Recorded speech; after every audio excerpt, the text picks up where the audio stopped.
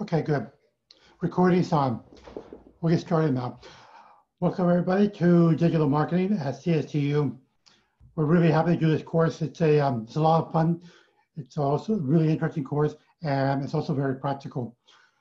CSTU is California State, I'm sorry, California, California Science and Technology University here in Silicon Valley. Uh, my name is Andreas and I'm the instructor for this course in digital marketing.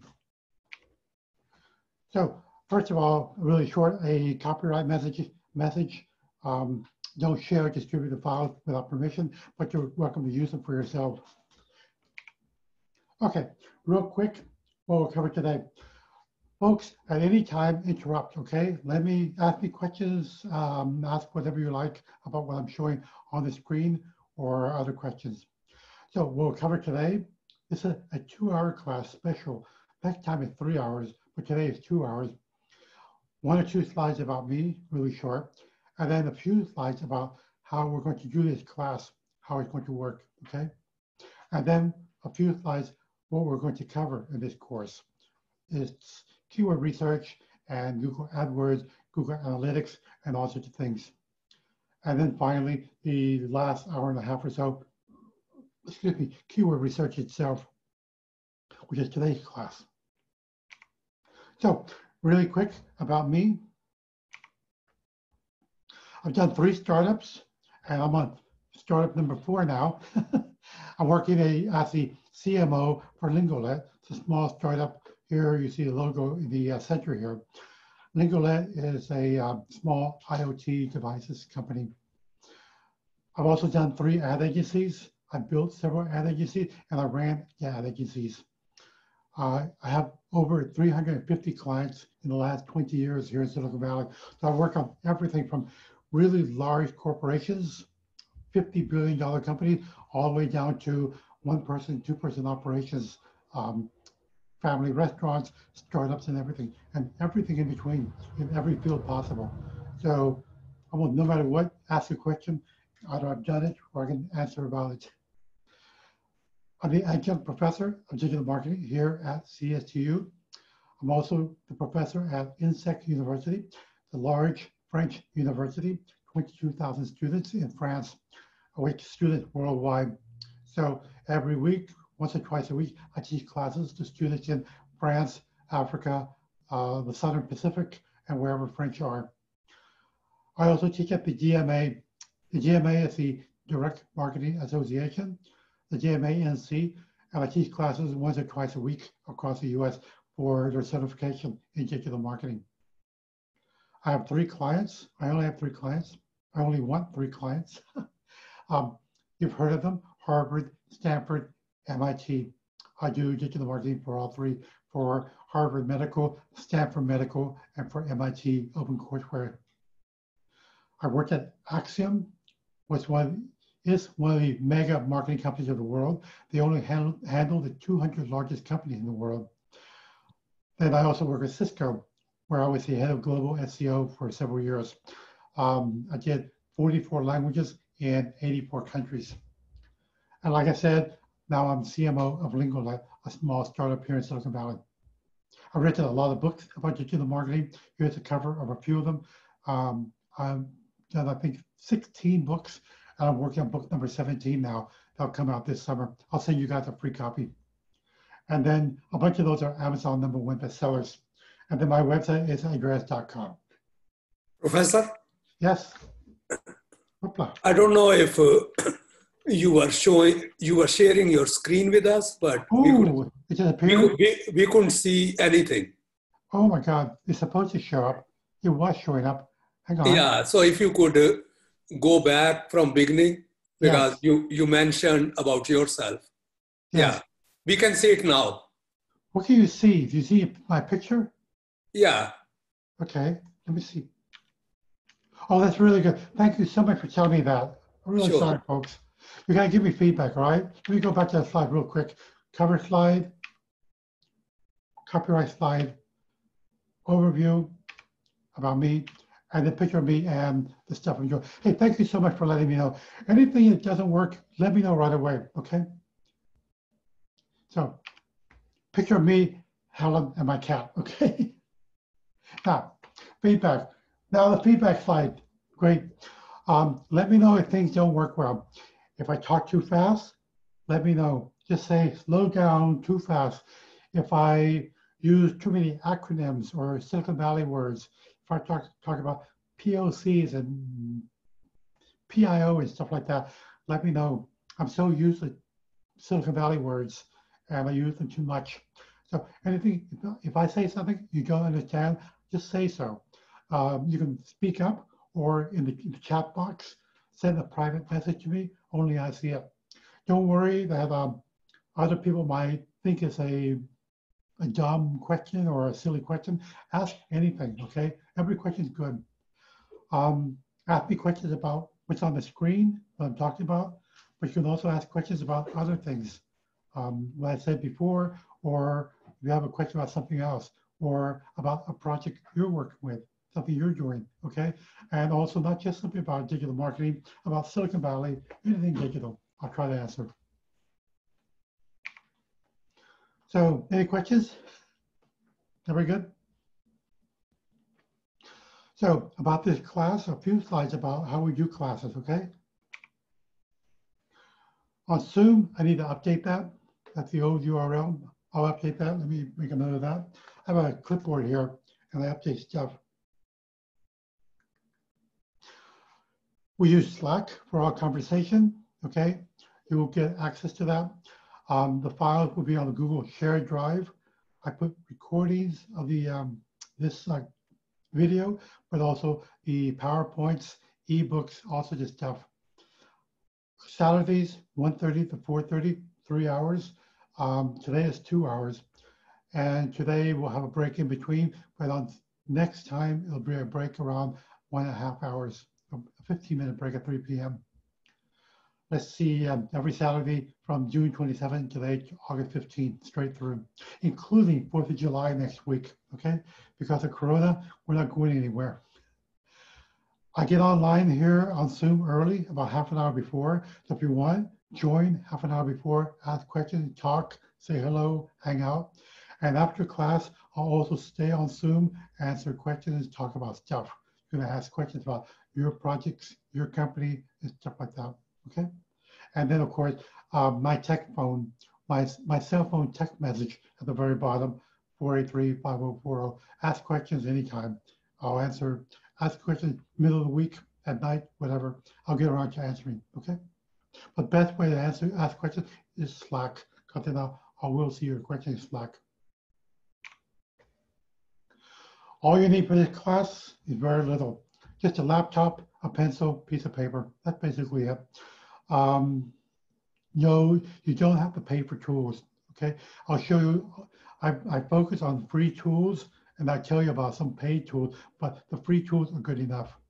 A Gmail account is really necessary. You need a Google account to sign into Google Analytics and Search Console and things like that. Spreadsheet, if you can, Microsoft Spreadsheet, but the Google spreadsheet works well enough. Okay, and that's basically it in what you need for this class.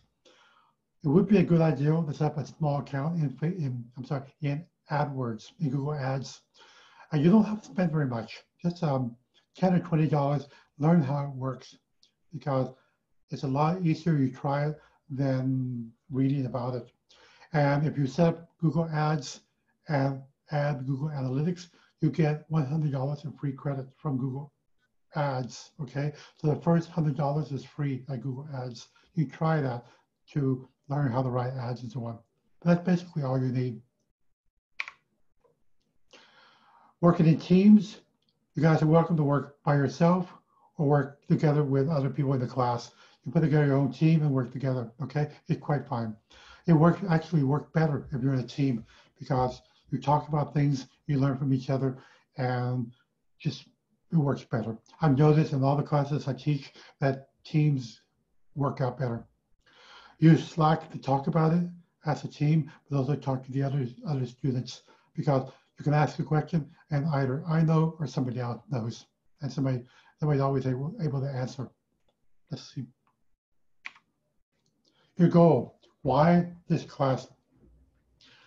number one goal for many people, get a job, okay? Be really honest. Get a job, make money, get a better job. Your first year, second year marketing person at a company, you want to go up to manager level or from manager, manager to director, or you working at a large company, join a startup. So get a job in the first place or get a better job.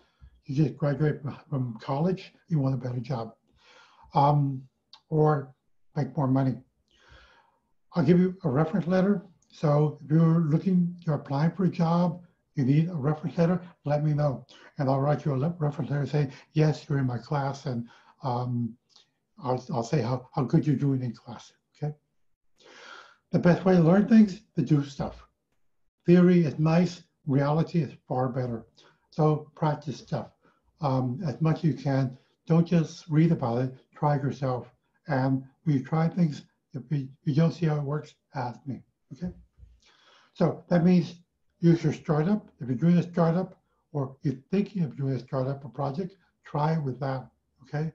For your company where you're working at or another company, your clients, so on, a friend who has a company, say you'll do the digital marketing for them, just so you can learn it. You do it for a small business, a local restaurant is fine, a flower shop, really small business, that's fine, that works. Nonprofits, that's really easy because they need help. You contact a nonprofit, you say you're going to do this for them, they'll say, yes, please help us, okay?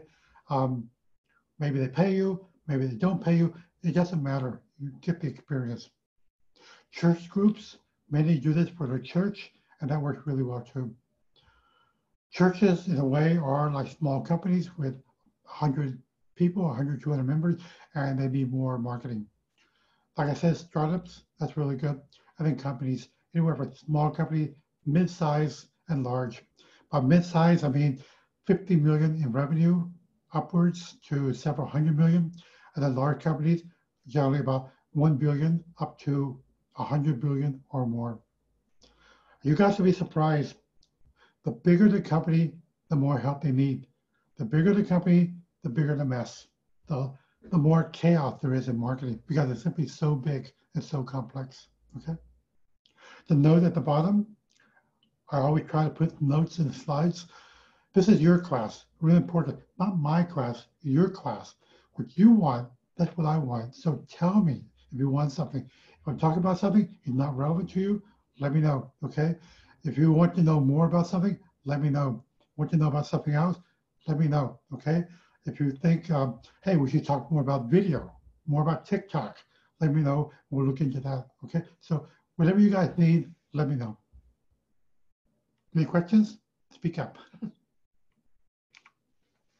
Class last year, some of you recognize many people. Um, this last year we had a great class and we even ended up with a party at my house afterwards. That was a lot of fun. This year, regrettably, because of Corona, we can't do that. Too bad. Uh, who knows, maybe by the end of summer it'll get better. But anyway, um, many people from last year were still in touch. We talked to each other quite a bit and some of these went on to get really good jobs. So that's really important for us to get to know each other as much as possible and talk together. the handouts, okay? Um, PowerPoints, you get, there are seven classes, three hours each. You'll get PowerPoints for all of them, okay? PowerPoints or PDF format. Audio recording and video. So what you see on the screen with my voice and other people asking, asking questions, that's all recorded. It'll be available in the shared drive at Google. So you can download that, have it on your computer, listen to it later go back over again, or if you have an appointment during one class, that's okay. You can listen to it later. I'll give you guys Excel spreadsheets that help you a great deal with SEO, uh, KPIs, and things like that, meta tags. Um, the ones I had from last year are much better now because we simply have more experience. More people ask questions and they got they simply got better and better. Plus also you guys will see um, Danny and others who were here last year, the slides this year are yet better because I simply taught the class so many times. I'll give you guys checklists for SEO, for Google Ads, for analytics, and so on. And then ebooks. Like you see here on the screen, I've written a bunch of ebooks and many more. I'll put those in the shared drive. You can download those. Those are all PDFs you can have them. Okay. If you miss a class, that's okay. Let me know um, afterwards, and we'll figure out some way of catching up. Uh, go to the shared drive, download the video. It'll be up within about 30 minutes, one hour after class. We'll have the shared video up. Okay. It takes some a bit of time for um, Zoom to process the video. Then we upload it. You can download it, watch it whenever you want. And then if you have questions, contact me in Slack. Okay. So, like I said, seven classes, seven modules. So really quickly, we'll go through those. Today's module, keywords. What are keywords? Why use keywords? How to find keywords. Really um, straightforward. I'll show you 10 ways to find keywords and then also to information about keywords. You'll see that. Google Analytics. This is a at least a six-hour class we're going to do in three hours. Tremendous amount how to install, configure Google Analytics, plus also how to use Google Analytics. You'll see things like funnels, the different reports, filters, all sorts of things around analytics. It's very detailed, very in, very hands-on. SEO, the same thing, hands-on doing SEO. Why SEO? Deep secrets at Google about SEO, how it works, how Google ranks pages, and once you understand that, you know how to do better SEO. We'll look at how to do meta tags, titles, descriptions, so on in detail. Plus, of course, the um, spreadsheet for managing all of that, updates, how Google actually ranks pages, the internal manuals at Google on ranking pages, and so on. Tools like Screaming Frog, how they work, and so on. Plus, also, what's really cool is SEO for images. New material, um, many things I've learned here in the last half year, uh, detailed technical information on how to adjust images for better SEO. The same thing with video. Uh, Google make a really big push on video. I'll show you how to do SEO for video. SEO for mobile, for social, Amazon, and ADA, American Disabilities Act, for people handicapped. There's SEO for them as well. Okay. Google Advertising, what used to be called Google AdWords, is now called Google Ads. So how to set up and manage Google Advertising, plus lots and lots of hands-on tips and tricks around that. Social media, how that works, how to use it, how to deal with it, how to track it, and how to understand the data. Okay, a lot of information in social media. We look primarily at Facebook, Instagram, Twitter, and LinkedIn. Those are the big boys. And nowadays, Instagram, Twitter, LinkedIn. But we also look a little bit at other things, Pinterest, um, WeChat, TikTok, and so on. Those are uh, growing really fast, super fast actually. And email marketing, how that works and how to use it. I'll show you hands-on examples of email marketing campaigns, plus stuff I've learned in the last year uh, working, doing email for our startup. You see lots of new material there. Email, for many people, it's like, does anybody do email anymore? Isn't that over? Isn't that passe? It's actually still really big, especially in the US and Europe. Other parts of the world, not so much, but many parts are using it, especially for corporate email, corporate marketing. If You want to reach out, reach to people at companies, then email is really important. Finally, content marketing, how that works, how to do it, and lots of examples in content marketing, how much it actually costs, what you can do, how to use it, and so on, along with examples of uh, using content marketing, okay? So, summary of the course, we talked a lot about how we're going to do the course and also overview of the material in the courses, what we'll teach, what we'll go through the next eight weeks, okay? The last class, of course, is a uh, presentation. So you can choose your presentation, talk about your project, how you use digital marketing for your project, okay? Um, it's your project, you can structure it any way you like, and we'll work together on that. There's lots of examples in the class of um, how things are done at companies, real examples, and case studies. And you have examples or questions, or you you know about things, let speak up about them. Okay. Great. Any questions so far? Any questions about the material, how we do classes, and so on? You type your questions in the uh, in the chat list, either privately to me or to everyone, or you can speak up in voice or turn your video on.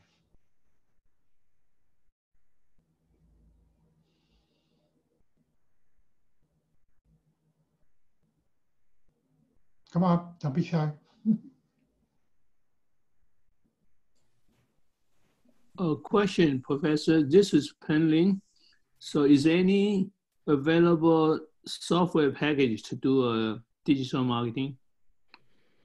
Yeah, there are there are there is software. There are tools you can you can pay for. Yes, there are free tools out there, but you don't need to buy them for this class. Okay. How, how effective are those tools? Ha! Very good question. You'll see. I'll show you in a few minutes if they really work or not. Okay, that's a really great question. Folks, be very critical. Peng's question is super good. Be very critical. Ask ask questions about tools. Don't accept what the tools tell you. They want to make money. They really want to make money, so be very skeptical. Peng, that's a great question, and I'll show you in a few minutes if it's effective or not, okay? Right now, my major, um, my main position is don't pay for tools. The free tools are good enough, and there's no real advantage to tool that you pay for. Uh, so better said, I do not see advantage to tool you pay for, okay? Any other questions?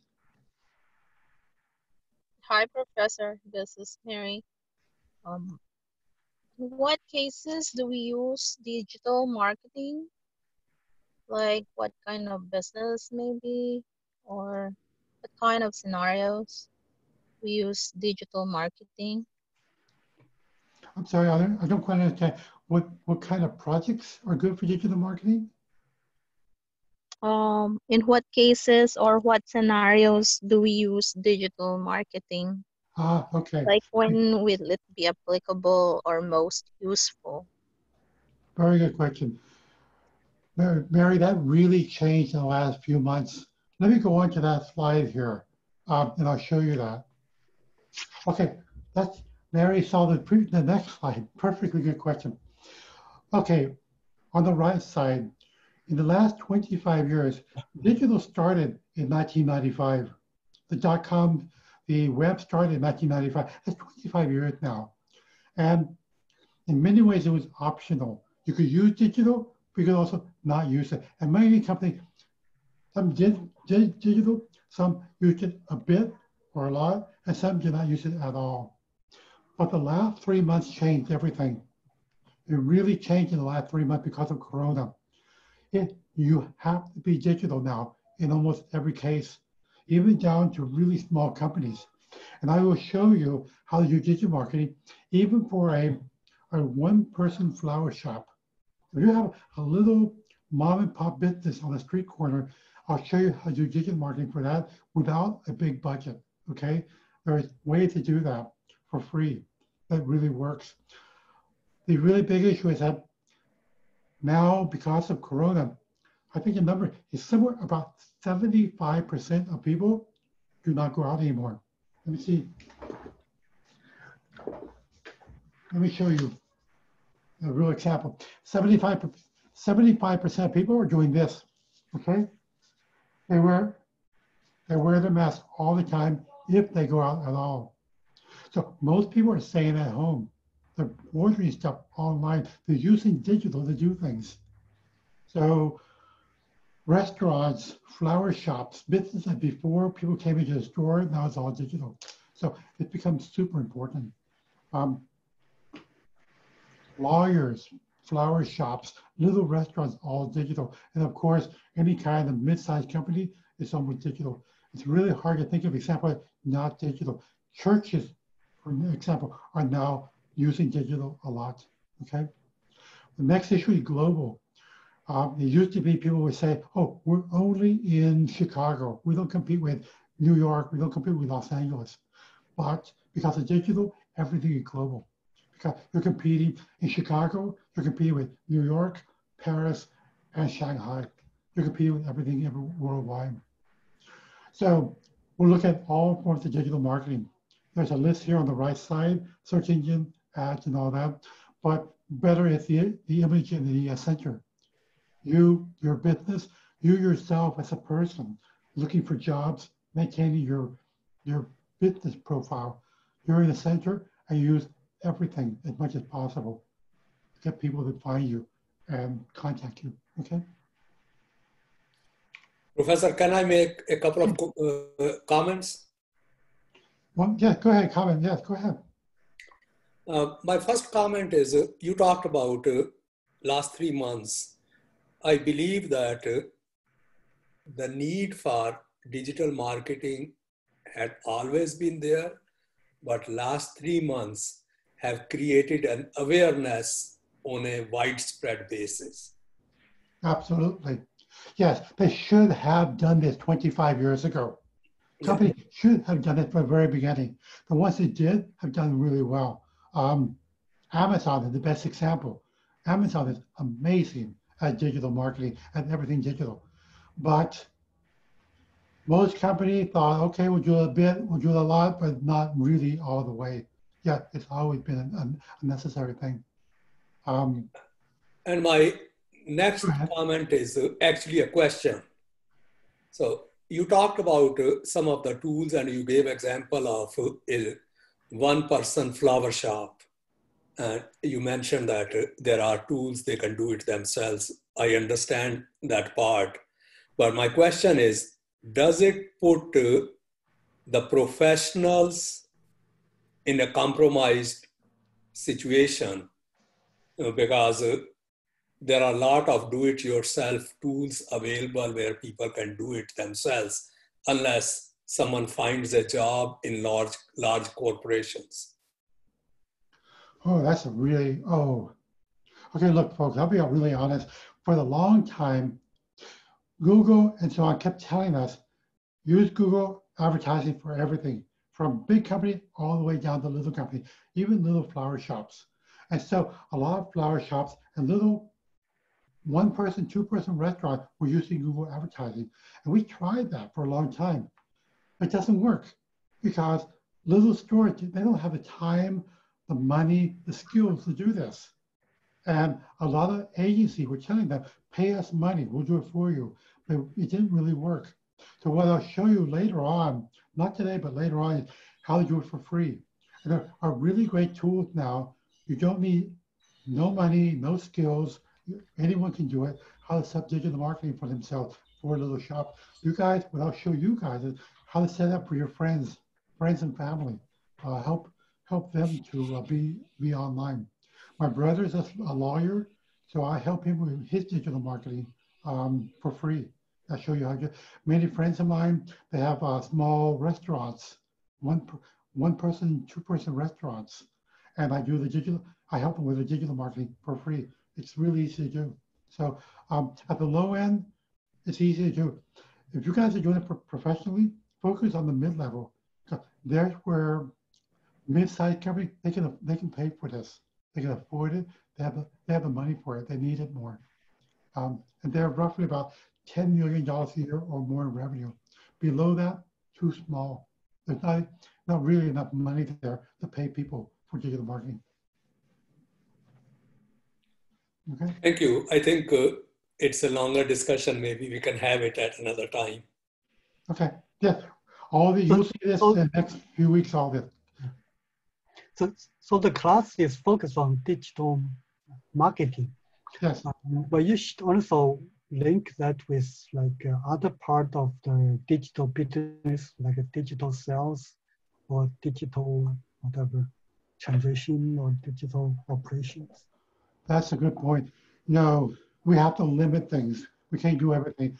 There's um, sales, for example, and the CRM, like Salesforce and HubSpot all that, that ties really closely to digital marketing, but we simply don't have time to cover that. at, um, at our startup, I do the marketing and another team does the sales. We cooperate, but I do, here, we're not going to cover that. I simply don't have time to cover that. Okay, I have a question. sure. Uh, with Charles. So if you have like a digital marketing, uh, like a certain way people interested, if you want to complete the transaction uh, for a really small business, like what you mentioned, like one person flower shop, uh, what typically the tool can easily helping them to uh, finish the transaction. Uh, okay, for a mid-sized company and larger, digital digital transaction, that's fine. Solutions, whatever, there's lots of that. But for the little guys, the little shops, both really honest here, I've done this for at least 20 or 30 little little shops. They don't have time to set this up and manage it. Okay. Yeah. So there, and again, here, little shops, the best the best way to do transaction, people come into the shop. People, their their best, the most of their business is done by their best customers come again and again and again. You you can set up transaction software, but it's return customers coming to the store that's going to be most of their business. To be really honest, um, you could, if possible, in theory, to set up Volusion Okay. for a small business, but really difficult. Okay. Uh, uh, uh, just a small, little bit more question. Uh, follow this one. There's a company in Canada called Shopify or something, Oh yes, and they are so popular nowadays, uh, uh, like a wildfire everywhere. But what they do?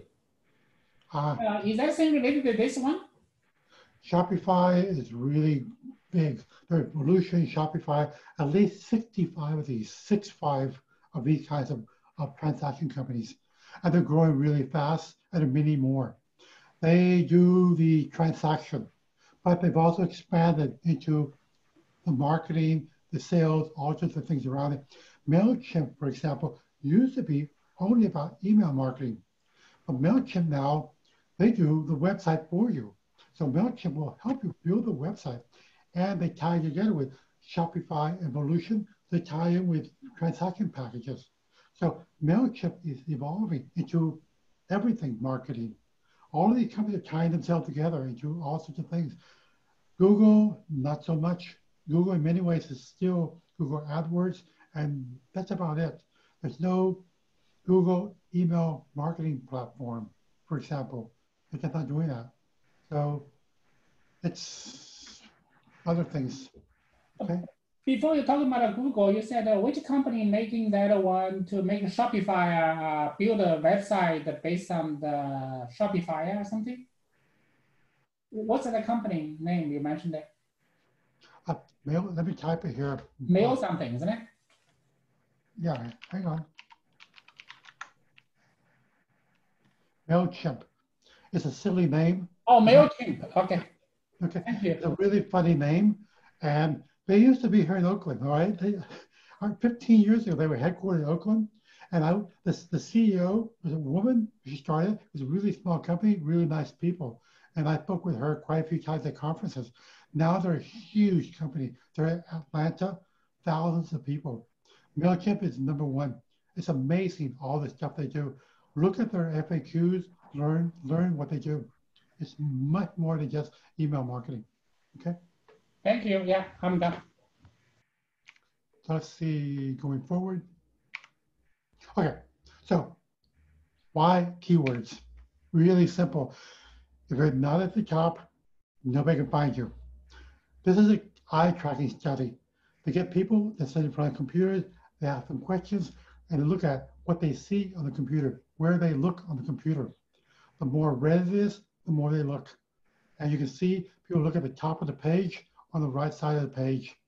At the top is the first link, and on the right, that big box, they call the Google information box, which is super important. You can see more people look at the information box than the links actually. I'll show you later on in two or three classes how to fill out the information box, and that's totally free. It's free, you can do a lot of stuff in there that's really cool. It's actually better to have a good information box than to have a good website.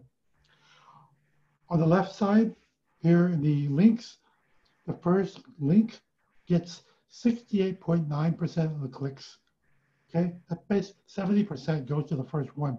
If it's a brand name like Nike or Adidas or the Four Seasons Hotel, they get basically 70% of the traffic.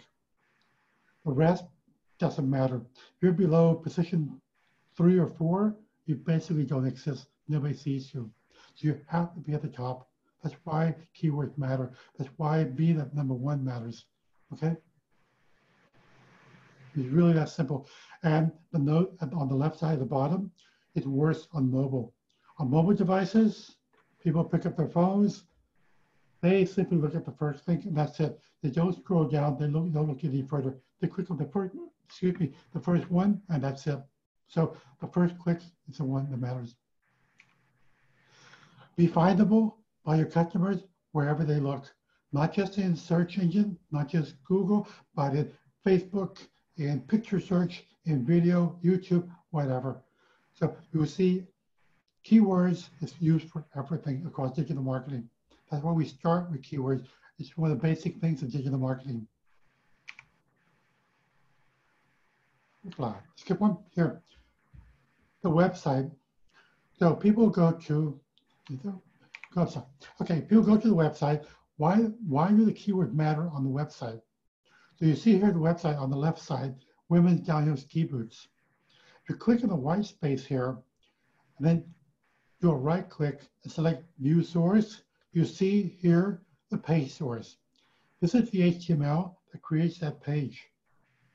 Here at line seven, I'm sorry, line six, you see title, women's downhill ski boots, REI. Okay, then line seven, you see the description, meta name description, shop for women's boots. These two, the title and description, you write that. You control that. You put the keywords in there okay? You write that material. Those two lines that you write here show up down here in Google. So when someone comes to Google and they search for women's ski boots, the first line that shows up here, women's downhill ski boots, that's here in line six on your page. You wrote that, that's what shows up in Google. The same thing with the description. You wrote the description, that shows up in Google. So when Jennifer comes to Google, she's searching for women's ski boots, the one that looks best to her, that's the one she clicks on. So if you write a really good title and description using the top keywords, she's most likely going to click on your link and come to your page. That's why they matter so much, okay? This is why keywords matter in terms of SEO, title tag, description tag, and so on. Okay, questions? Really quick, to see the meta tags in Windows, do a right click here, you see the menu, select page source. In Apple, you do Command Option U, or you click on blank space, right click, and you click show page source. Okay, a little bit different in uh, Apple and Windows. But then what you get is the HTML code. Here you see a close-up, title, it's here, and then line five, description, content equal, looking to buy skis, and so on. You write all this, that what shows up in Google search engine. Okay.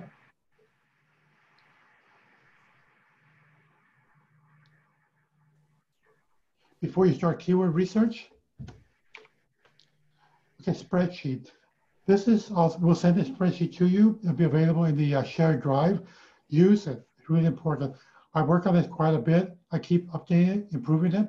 And it's you see below there are many more tabs. There's a lot more than what you see here. What it does, it counts characters for you. So when you write the char the title tag, for example, you write the tag and it tells you how many characters are in it. Here, description, maximum 160 characters. So this one here has 137, you're good, no problem. This one, 80, that's fine. But this one in line six, 161, that's red, it's over the limit. What happens, Google will cut that off. The words are too many, we get simply cut off. So when it shows up in red, you know it's too long, right? You can also see if you sort by, click on the down arrow, you sort by size and see if they're duplicate. And you can fix that. Google does not like it if they're duplicate. The same thing for mobile, 130 characters. You see, this one is good for desktop, 137, but too long for mobile. So it warns you. And that way you go in and fix that, okay? So this is on the shared drive, download it and use it. So I have a question here. Sure. Uh, it looks like uh, they don't have a limit for the characters. So how do they decide what is a long description versus acceptable size of the description? Ah, Google does have a limit. Google, for which one? For, for, for, title or description? Or- So looking at uh, what we see on the screen, Uh-huh. right under 161, 155 is uh, acceptable, but on the left and right, there are 134 and 137, which are red. Cool, correct. For desktop, you see here, 160 character for desktop, that's fine. Mhm. But here for mobile, 130 for mobile, okay? Mhm. And that's a, that's a really big problem. A lot of people, and we'll talk about this next session, but Google for many, for a long time said 300 characters. So you see, you still see a lot. And Google, a lot of people are not aware that 130 for mobile. So if you, this one here will get cut off at 130. Got it. And the, so you put your most important keywords at the very beginning because you know in desktop it'll be a, a little bit longer, but it'll be shorter in, in uh, mobile. Okay, Thank you. sure, no problem. Oh, This is very confusing. Go ahead. Uh, so for the Google search, essentially the engine is targeted with the text search. And with a certain field, a certain fixed length or less, isn't it? And this is really complex what the searching you're looking for. Um, we'll talk about that in two or three classes about how the search engine chooses what to target. Okay, very complex issue. But what we're focusing on here is this here. We want Jennifer, when she's looking for ski boots, we want her to click on our link. So that's what our real target is not Google. Our target is the person doing the search. Okay, really important.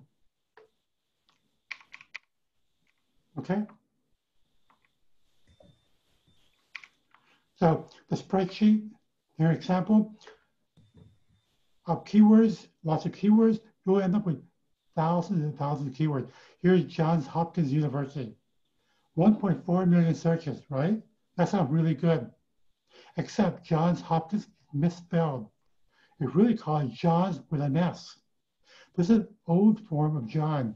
300 years ago, it was John with an S. So the the real name, what they really search for, not what people actually search for. You have to be really careful with keywords, okay? Here's how to calculate keywords, the value of keywords, but we'll see this a little bit more, okay? So if we can go back to John Hopkins example, even though correct name is John's, would a marketing person use John's with S or would go with the, the popular way of searching without S? Ah, good, good question. So you would know that people search for singular. So you use the singular as a keyword, but in the ad, you add John's plural with the S. Because people, most people don't notice it or they'll think that's the correct spelling. Okay, so use the correct spelling in your ad, but use the singular as a keyword. But you also use another keyword with plural. Use both at the same time. Okay, you always use misspellings because Google, you very often Google knows there's a misspelling and will correct it, but you cannot trust Google. Google makes mistakes, and so you need to fix it yourself. Always So- use the always use misspelling. So that was my follow-up question, which you partially answered. So, for example, if I say John Hopkins without S behind John, a lot of times Google says, uh, Did you mean John Hopkins? Mhm. So, is that message from Google through their own analytics, or actually the marketing person puts it in? No, Google did that. Google noticed there were millions and millions of searches for Johns Hopkins, so Google fixed that. But you open your own a new startup with a word that Google did not know, Google will not know if it's spelled correctly or a misspelling for it. So you have to make sure you have to do an ad where you use the misspelling as a keyword and then the correct spelling in your ad. Okay? Okay, got it. So- Thank you. Don't trust Google. Yeah. Okay. Let's go straight through because we're only got about um, 45 minutes now. But it's really good you guys are asking questions. We're going to go through these really quickly because there's a lot of discussion towards the end. And I'm totally happy to stay on longer. So if you have to leave at 2.30, I'm sorry, 3.30, that's fine. If you want to stay longer, that's also fine. So software to find the top keywords, okay? We'll look at nine different ways to find keywords, okay? So the first one, Google AdWords itself. It used to be called Google AdWords. They changed the, the name last year to Google Ads. But I've been using it so long, I still keep saying Google AdWords. So Google Ads has one of the best tools available. It's called our Keyword Planner. It's in Google Ads. So you sign up for Google Ads account. It's free. Do not, you don't have to put in a credit card. And then you use the tool for free. Okay. Go to Google Ads. You click on the little gear icon, and then you click on Keyword Planner, and this shows up. You can put up to 10 keywords. Here, I put ski boots. I'll use ski boots as an example in many slides. So I put in ski boots, downhill ski boots, and so on. But you can also put in a domain name. So here's the cool thing. We put in our company name, skiboots.com. So Google will show us keywords that are people using to come to our website. But Google also show keywords for our competitors. So we put our competitor's name in there. And then we can see the keywords going to their website. Okay, really important. So look at your competitor in Planner and you'll see their keywords also. You cannot block Google for doing this. Competitor will call Google and say, don't do this. Google still does it. Okay. You set the location, language, English, location US, if that matters. Otherwise, leave it alone. Okay. And then you click on get results and you get this.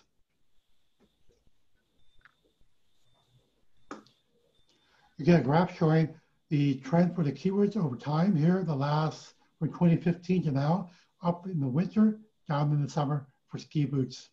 Below you see ski boots here, and then numbers for them. 165, 165,000 for ski, 6,000 for ski poles. We'll talk a little, a little bit later about these numbers. But what you see here, I took this uh, and white here, you get basically about 1,000 keywords for skis, for ski boots, okay? All to the ideas. Here you see blue is desktop, red is mobile. You can see that mobile over time gets bigger and bigger and bigger. At Stanford now, mobile search, 82.5%. In China, mobile is 98.5%. And Google expects mobile to be the dominant form in the US and Europe next year. Okay.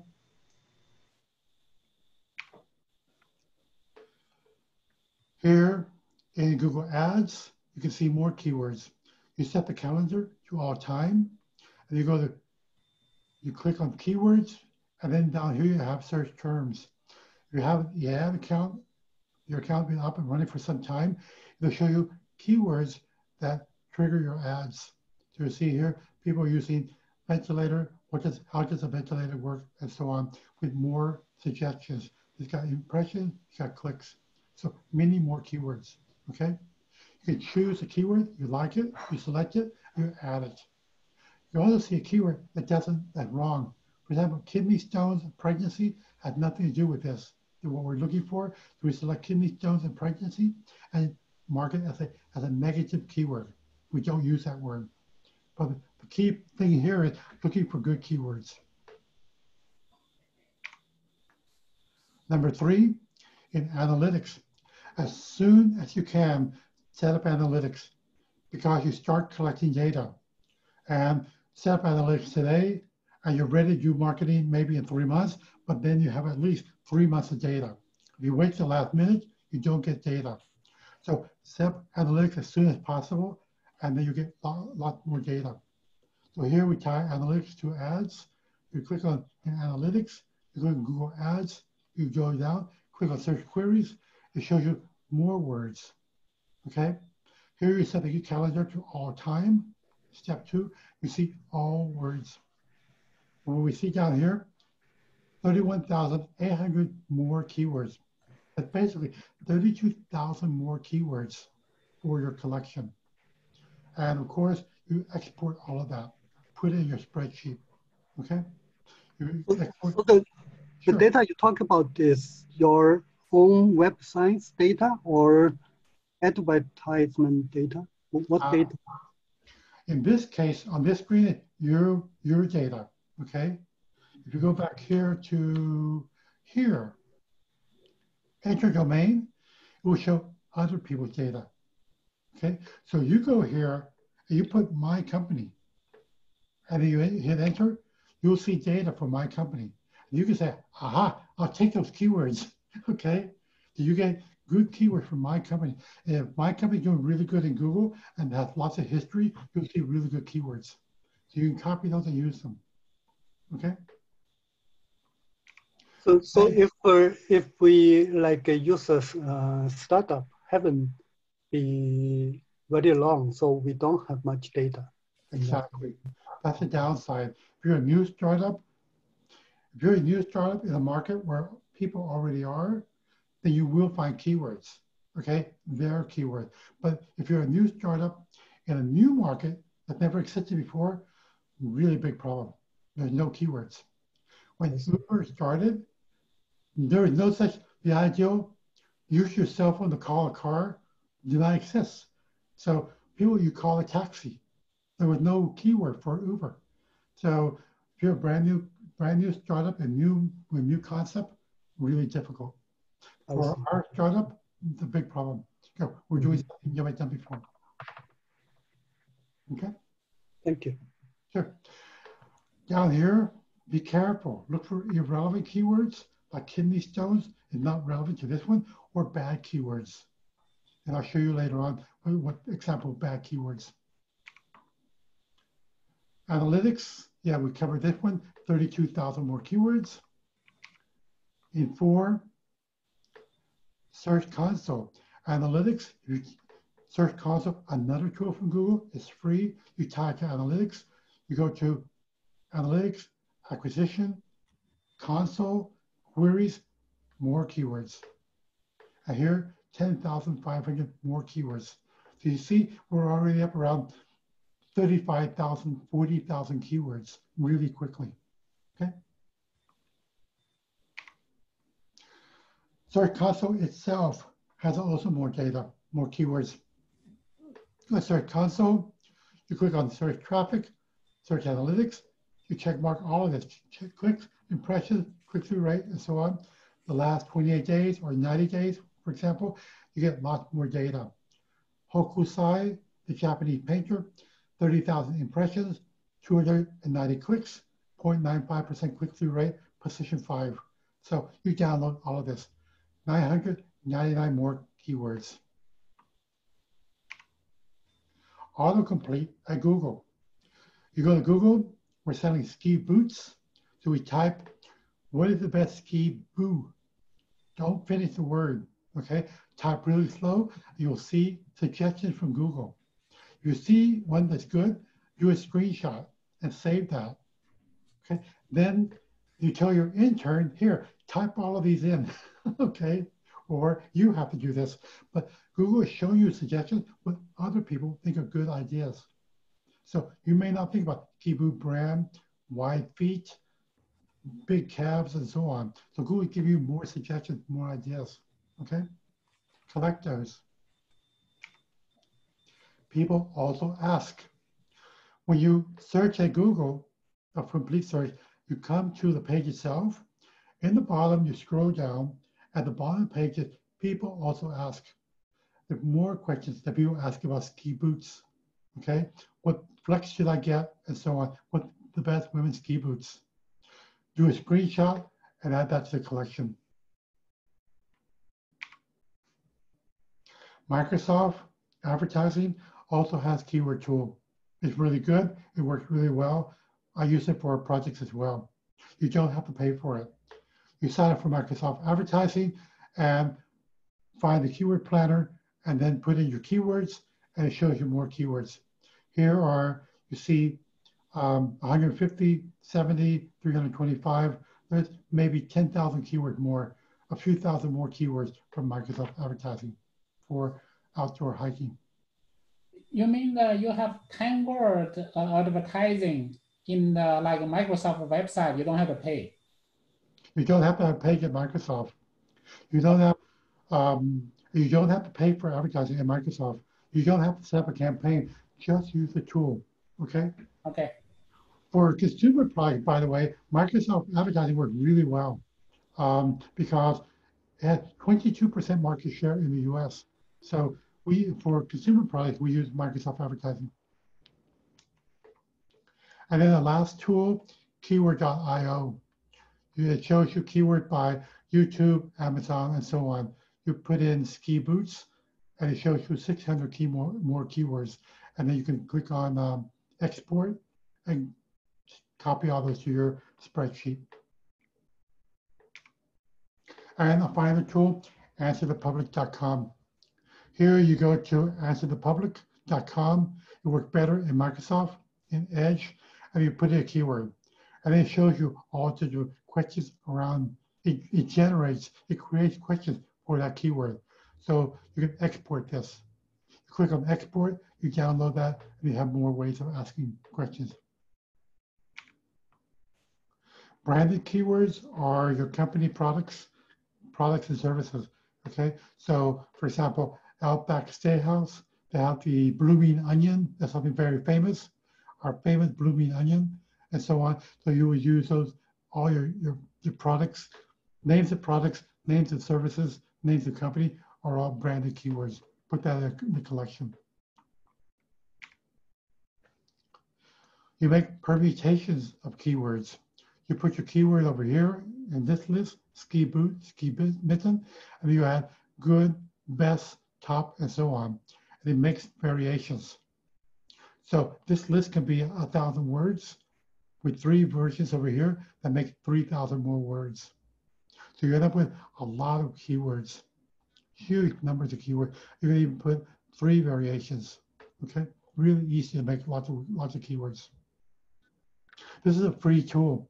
Go to bookmark this in your browser and use it. It's free, it's great, it's a great tool. So writing keywords. Been doing it for 4,000 years now. the free tools are really good ones. Google Ads, Microsoft Ads, and Google Analytics and Console. Those are all free, okay? The other ones are Microsoft Excel spreadsheet, but there's also Google Ads. I'm sorry, um, Google spreadsheet, that's free. You can use that. Okay. And then there are paid tools, Majestic, Ahrefs, SEMrush. There are all sorts of paid tools out there. Some of these you can use it for free, and you pay for the professional version, or you have to start paying for it. Okay. But the key here, the note here, key thing is the tools don't do it for you. You collect the keywords, you have to evaluate them. Okay, don't trust their data. And I'll show you why. This is what I asked before at the very beginning.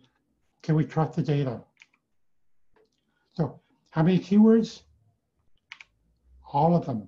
You find 30,000 keywords, you use all 30,000 because you don't know which ones are going to work. In our backyard, we have a bird feeder, and in bird feeder, we put bird seed. We don't know which, which seed is going to bring which bird. So we have to try all the seeds, all kinds of seeds, big seeds, little, little seeds everything. You don't know which keyword is going to work, so you try all of them, okay? All right, folks, really important slide. I made this a few days ago. This is new information. Nowhere else on the web. I've had a lot of discussion with key people around the web, uh, top people in SEO and AdWords and analytics. We've been talking about this slide here. I made this a few days ago. These are keywords for a project with Harvard. I'm doing a project right now for ventilators. These are the top keywords. So I went to Google, uh, Google AdWords to find the data for those keywords. So Google AdWords told me 8,100 for that keyword, 1.5 million for this keyword, and so on. Very good. Low competition. Cost per click, six cents, 56 cents, $1.22. This is Google Ads calculation, okay? Then tried the very same word in SEMrush, maybe the best known SEO tool out there. Again, the same thing, projection for BPAP, 1,900. You see difference? Google says 8,000, SEMrush, 1,900. Big difference. 1.5 million, 200,000. Big difference. And competition and the bids, dollar, dollar 81, 28 cents. This is reality. This is what I'm getting at Harvard for these keywords. For two months for a project, I'm spending $10,000 per month on these keywords. This is what really happens, okay? For a BPAP machine, 2,000 actual impressions, not 8,000, not 1,900. I get more than SEM predicts. I get nowhere what Google predicts. The difference with Google, a quarter of what Google predicts, 100% more than SEMrush. Here, 56 times more than what Google predicts. SEMrush had no prediction. 193% more, 13 times more. See, these predictions from Google and SEMrush, they're not just simply wrong, they're, they're irrelevant data. Basically, delete all that data. It doesn't matter. It simply does not help you, okay? It's actually misleading. You look at this, you think, oh, this word, 1.5 million, cool, we're going to use that. Really big word. In reality, we only get 400 impressions a month for a $10,000 campaign in a field where very few people are actually advertising. So, Question. Okay. Uh, yes, go ahead. Are we going to talk about uh, bidding process in another class or? Yes. Can, okay. Yeah, we'll talk about how to use the keywords in the class on title tags and description tag and in the uh, browsers. Okay. Okay. Thank you. Okay, no problem. So here's explanation of what all this means. Okay. Look at this table very carefully. It's uh, your presentation. We gotta get it and go through it. Think about this, what it means. I've been discussing this with the key people in the industry, um, including SEMrush. I mean, they've been we've been emailing back and forth talking about this. So here's steps for doing keyword research, how to find keywords. I'll let you go through go through this because we have more slides. I want to go through the slides as much as I can, but the basic steps. Think about your page. What's the main what's the main concept on that page? Look at the page, not the website. So for this page about ski boots, what's the main concept? Of course, the ski boots. So then we look for that keyword in the tools. We find all sorts of words for ski boots. And ski mittens, that's a different word, a different page. So then we do search for that concept, okay? Again, also competitor. Look for our competitor, find the keyword for ski boots. Five to 10 competitors. You end up with maybe 10 to 20,000 keywords. You put them in categories, you test them. And I'll show you in the next slide how to test them. And then you end up with real data. How many, what, how many actual impressions and clicks they really get. You look for the ones that are relevant, those are the ones you focus on. You pick the top two or three keywords, those are the words for your page, okay? Put keywords in categories. The major categories, of course, branded your company. So you make one campaign just for the company, skiboots.com, Ski Boots Incorporated. People in your company. And I'm doing this right now for our startup. I have campaigned for the CEO, CFO, CMO, and so on, myself, and so on. Services, ski boot repair, fixing, all such keywords around services.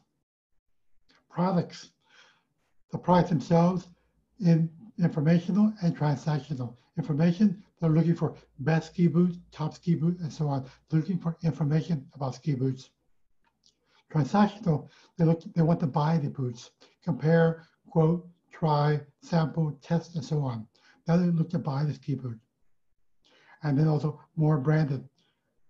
The Rossignol ski boot by this woman here, Frida Hansdotter, who you see over here. She won the Winter Olympics. So she has the official ski boot. So you put that, you put official, original, and so on. So these are your categories. Put the keywords in those categories and then you test them with more budgets. And here's what you see.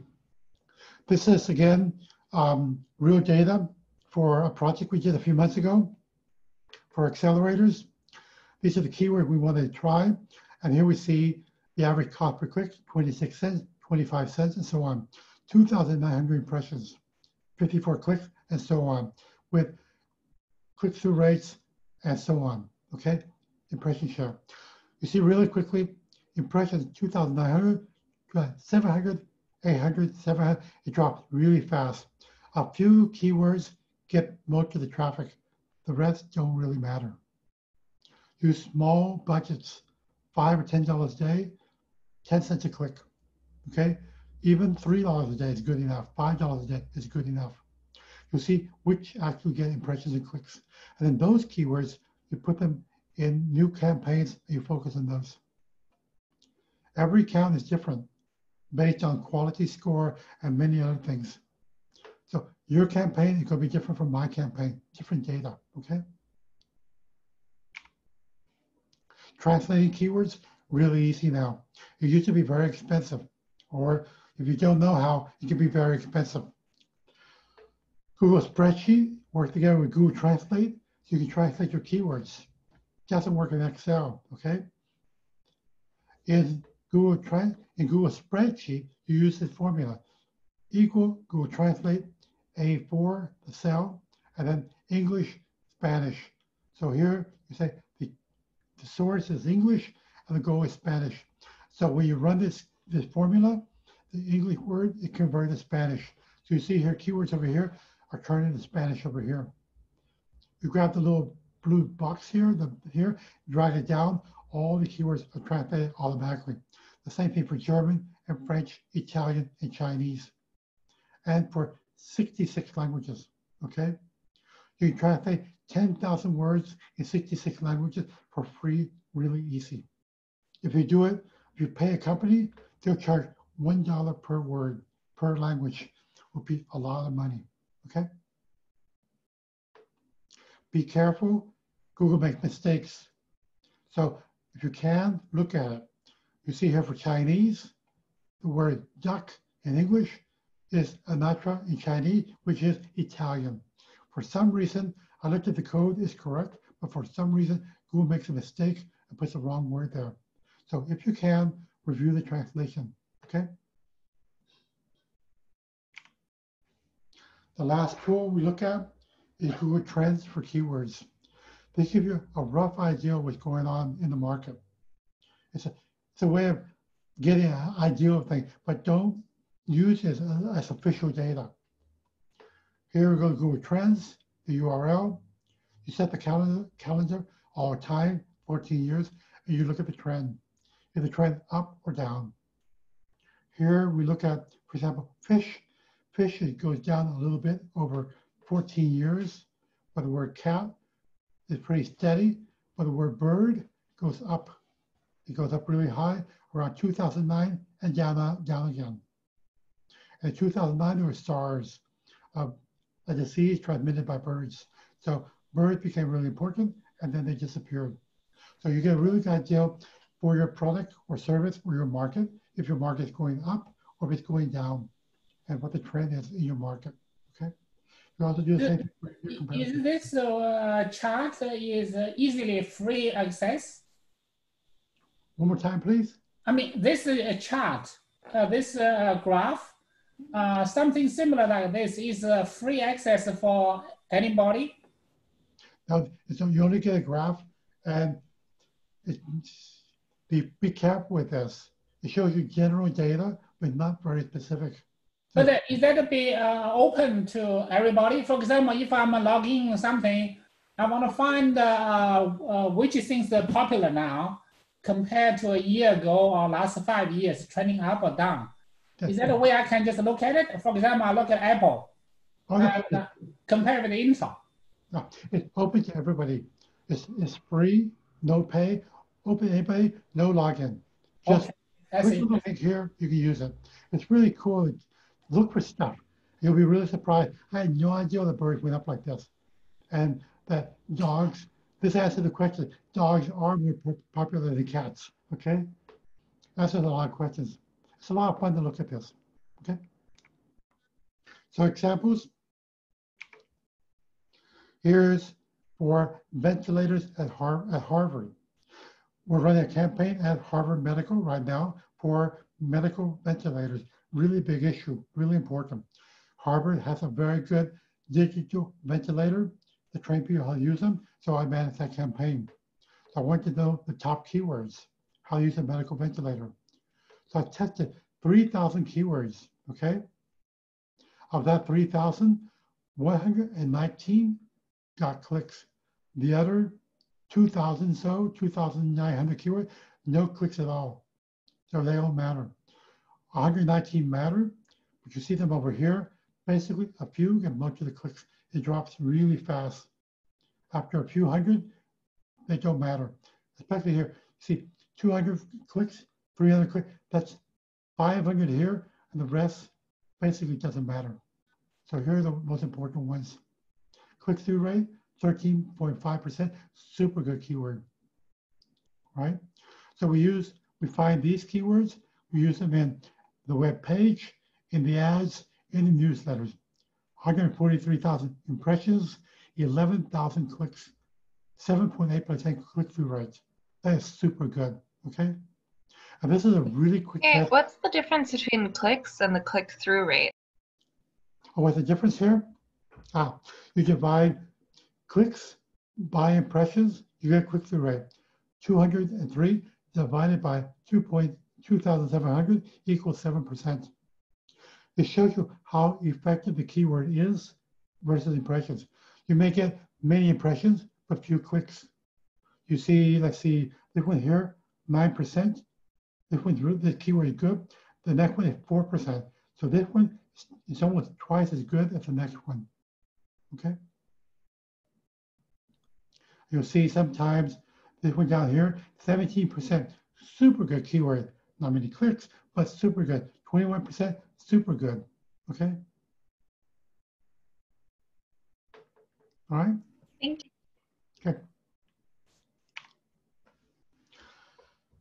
And the last example here, it's not just about Google and not just about the US. Um, this is our startup, the one I'm working at. I'm the CMO of the startup, so my job to get this done. And the startup is, we have people in France, in Australia, in China, and here in Silicon Valley. So we're a worldwide company. So we want to show up worldwide. So this is um, results in mobile, because for us mobile is really important. This is Google. You type in the car, the startup name, where we have an ad at the top, and we're number one in mobile at Google. Go to the um, Bing, the Microsoft search engine. We're number one at Bing. No advertising. Our link is number one, and we are the first four links is about us. Okay. Then we go to Baidu. We're number one at Baidu. Here, Jer- Jerry, our CEO, is number one, and then the website itself, and people talking about our company. Same thing for Yandex, the Russian search engine. In Russia, countries of the former Soviet Union that use Yandex, you type in our company name, we're number one. In company, Facebook, YouTube, Twitter, Instagram. So it's really easy, and I'll show you guys how to do this for your startup to be number one in Google, Bing, Baidu, Yandex worldwide. The point here for us, investors and partners can find us really easily. We're looking at, this point, we're not looking for customers, we're looking for investors and partners.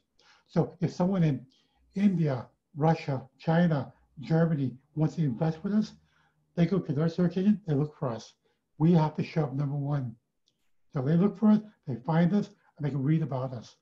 So what they, who is looking for us, investors, where they are, and then we show up, we make sure that we show up number one for them in their country in whatever they look at. Okay? This is easy to do. You don't pay for this.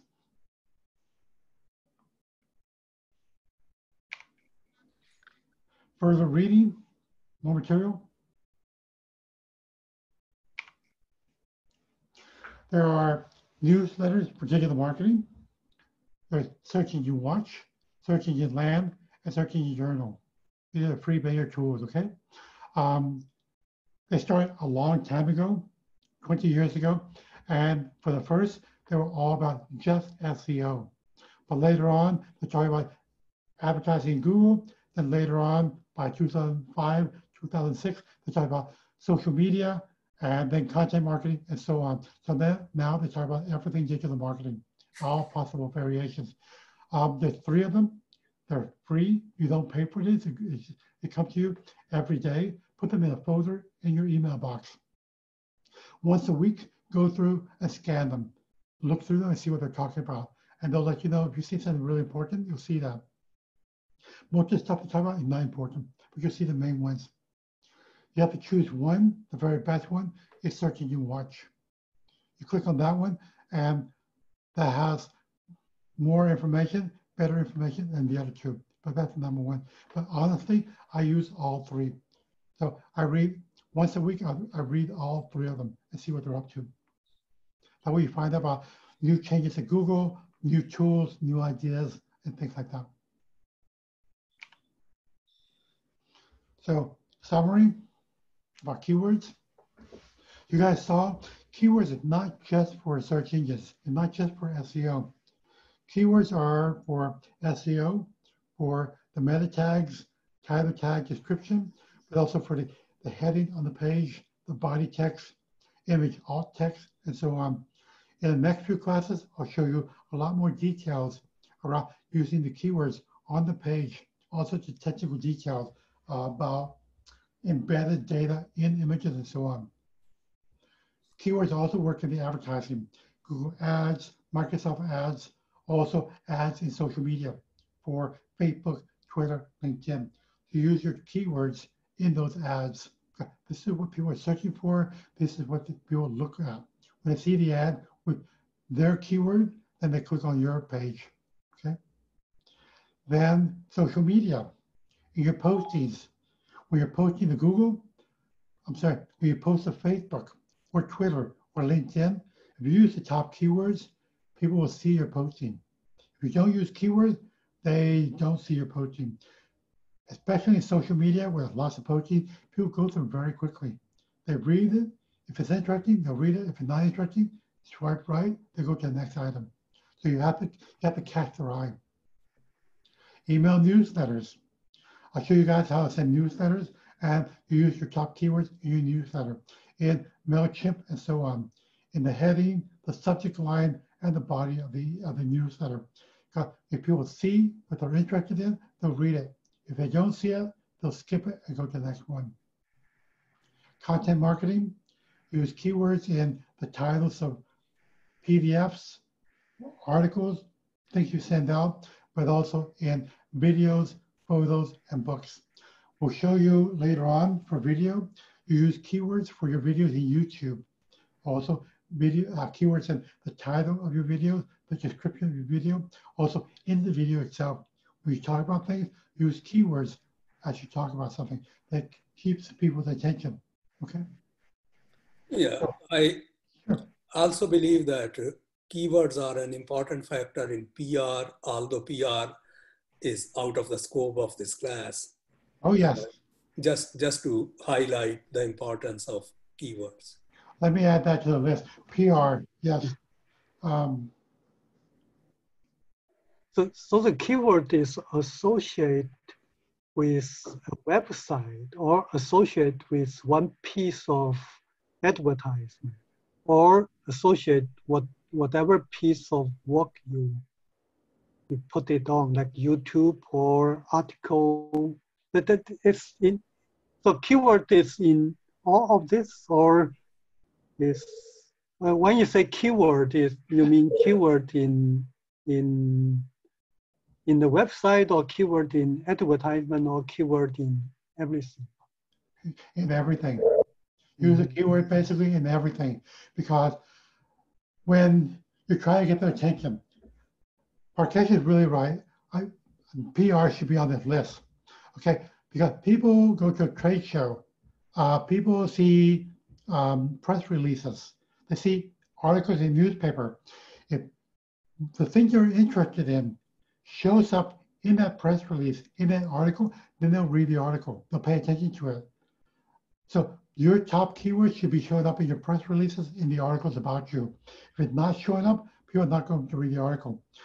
But then you use the top keywords across everything in the search engine. So you can you get their attention. They'll click on your link. But also the ads in the search engine. People see that at the very top of the page. Let me go back here. I'll show you something. Very beginning. You see here? The first three is what gets clicks. But if you look really carefully, a little dark blue here. This little dark blue, blue, those are ads. The first three links on the page are actually ads, not organic links. That's really bad news. So if people rely on SEO, they're going to be down here. The, the ads are at the top. So the keywords that show up at the very top are the, for the ads, they're the ones that show up first. And people looking for that hotel, the Capitol Hill Hotel, they see that very first, the Capitol Hill Hotel in the heading. So that's what, what shows up. And the ad gets their attention. Social media in Facebook, Twitter, Instagram, in the posting that gets their attention, but also the pictures. Use pictures that have to do with a keyword, like ski boots that get their attention. They look at it and they'll read more about you.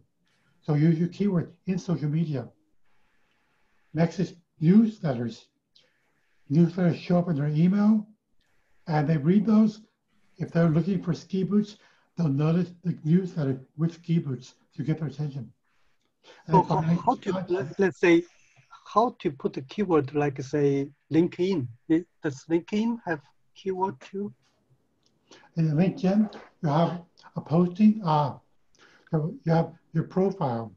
Mm-hmm. So for your profile in LinkedIn, you put your name, and they say 10 year expert in this topic as a keyword.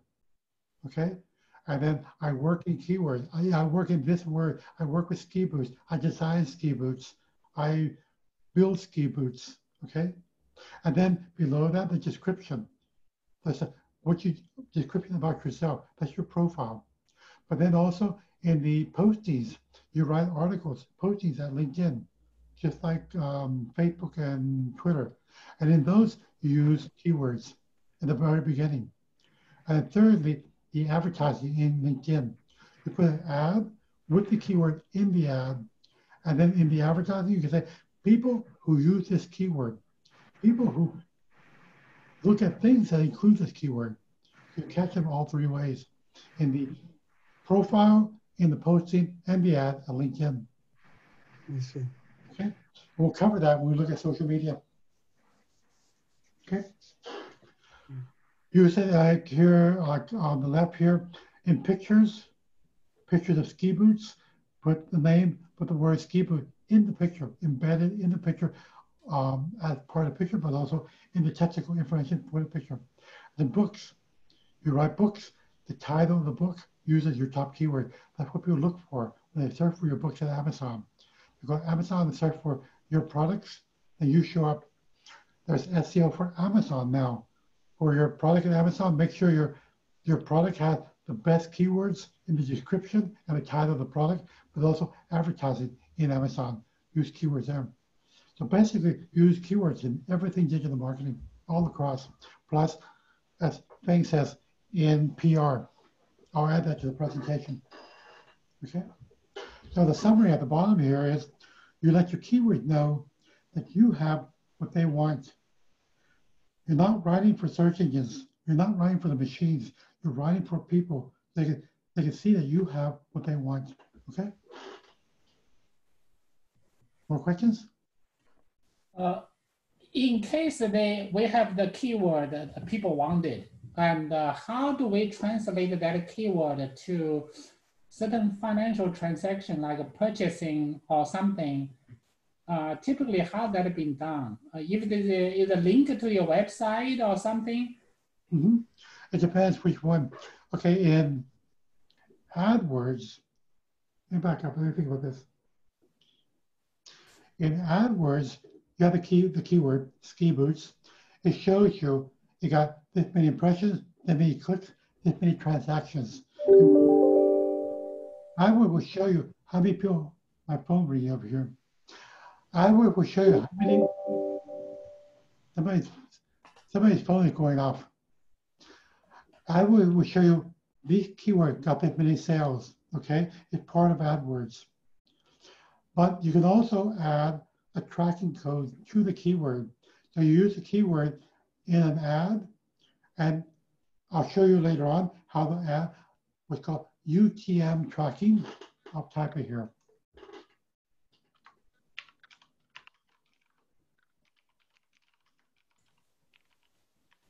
These are called um,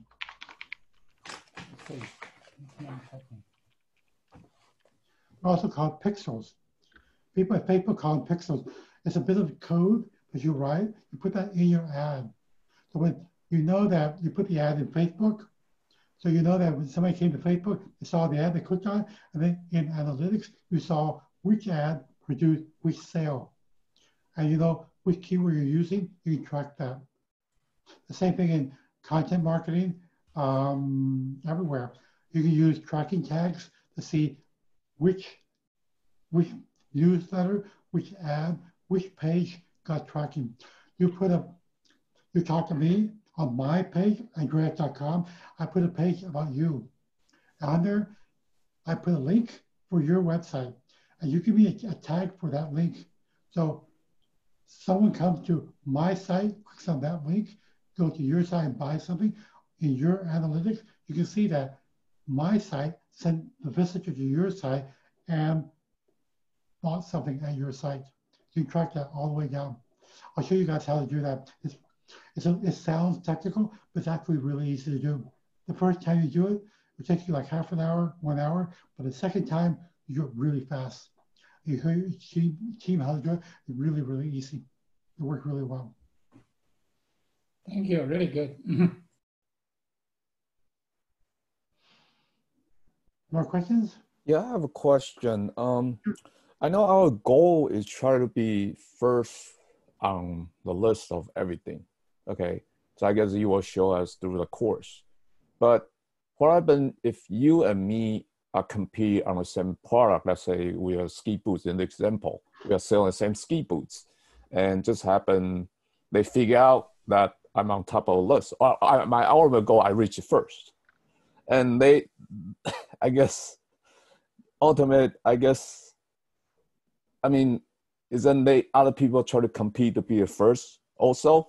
And what do I do next? what do I do now?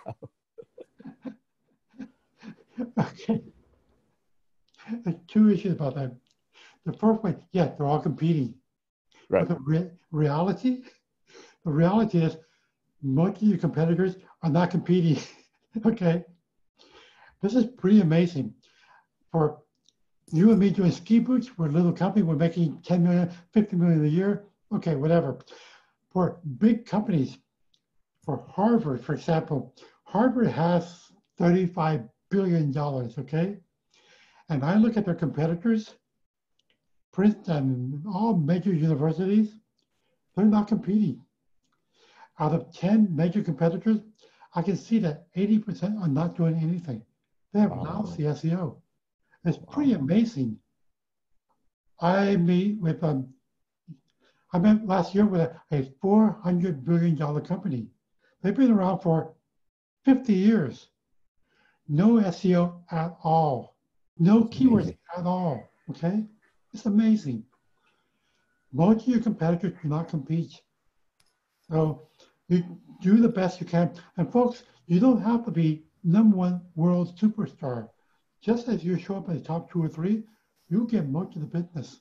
You get you get basically about 60% of the, of the business in your field. Um, of course, it's, number, it's great to be number one, but do really good and you'll be at the top. Don't worry about the others. If you're at a company, you're at a a 500 million dollar company, and they don't they don't listen to you. Look at your competitors. Find when they're not doing anything. Talk to them. Go over there. They'll hire you. You come in. You take over everything. And you do a much better job. Mhm. Um, it's reality. I was very surprised by that. I was at a um, conference in New York, and there were 40 major corporations. Um, the top 100 corporations were there. And I'm talking about keywords and SEO, blah, blah, blah. And one of the CMOs held up her hand and said, So, where do we put these keywords? Oh, you put them in your title tag. What's a title tag? Oh, that's part of the HTML. Just talk, talk to your webmaster. They'll do it. And she said, We don't have a webmaster. and I said, How many of you guys have webmasters? Nobody had webmasters. It's incredible. None of them had webmasters. Um, And these were CMOs? Yep, CMOs at the 40 largest universities in the US. Wow. Harvard, Yale, Princeton, MIT, Brown University, Stanford, Berkeley, blah, blah, blah. None of them had a webmaster. Pretty incredible. I'm surprised.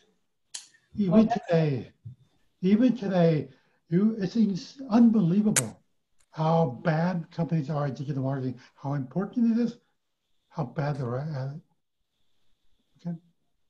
Okay. so you guys, you do, you get a B plus in this class, you'll be superstars out there. And you get an A, A plus, oh my God, you'll do really well for your projects. Like I, I showed you, what was it here? Hang on.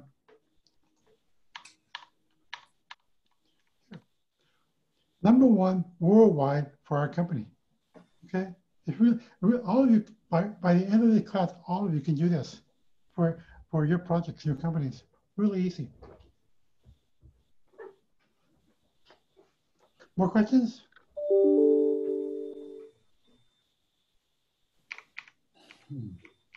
Hmm. Look, digital marketing sounds, in one way, it sounds really complicated. And in many ways, there, there are many things that are very complicated. But when you do it for a while, I think I was doing it from before, before they even had name for it. Okay, we do it for a very long time. You begin to realize it's not that complicated. There's some really, there's, the basic things are really easy, they're really straightforward. That's why I Hi, Professor. in the class. I have a question.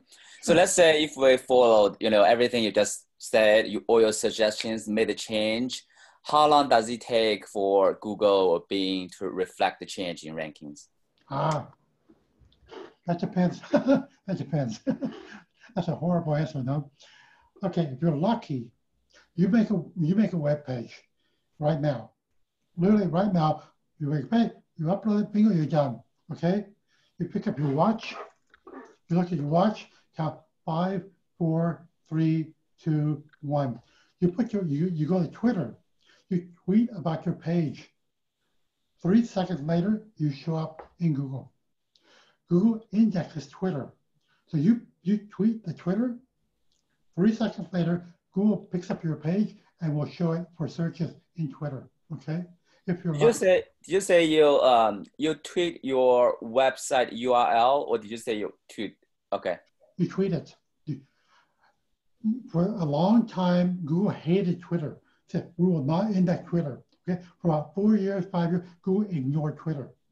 But finally said, all right, all right, we give up. And they index it. So now they index it every every few seconds. So you tweet it, and three seconds later, you show up in Google. Okay.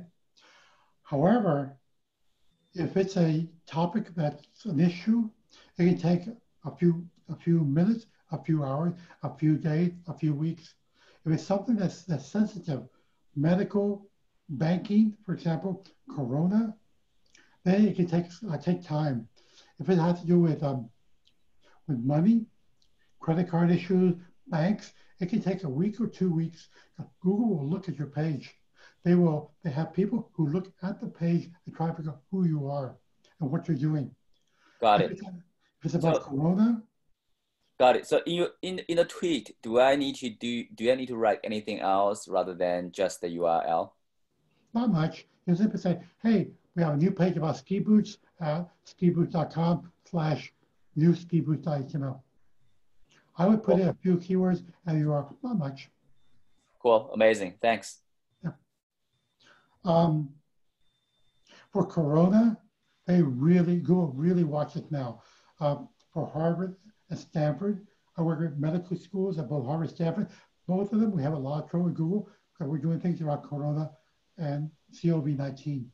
And it can take weeks and weeks and weeks for Google to approve a page from Harvard or Stanford, okay?